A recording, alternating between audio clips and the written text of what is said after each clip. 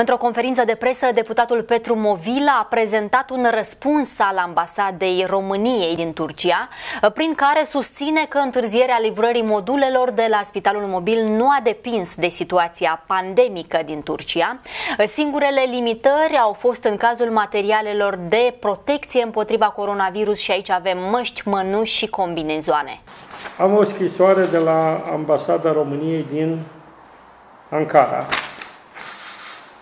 da? care spune foarte clar că în Turcia nu a fost impusă niciodată carantină pe teritoriul Republicii Turcia, în perioada din aprilie până în prezent, care spune că autoritățile locale au impus carantina în timpul weekendurilor și în zile cu sărbători legale, măsură care a fost ridicată de la începutul lunii iunie, odată cu implementarea unui program de relaxare a restricțiilor impuse prin combaterea SARS-CoV-2.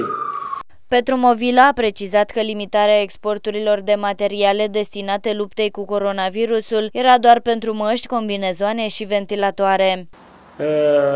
În martie 2020, Ministerul Afacerilor Interne al Republicii Turcia a decis limitarea exporturilor, nu le-a interzis, a decis limitarea exporturilor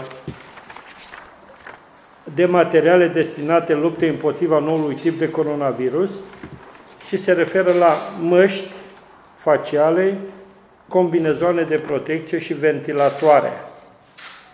Nu se vorbește nicăieri despre faptul că a fost interzis exportul unor bunuri de gen spital mobil COVID.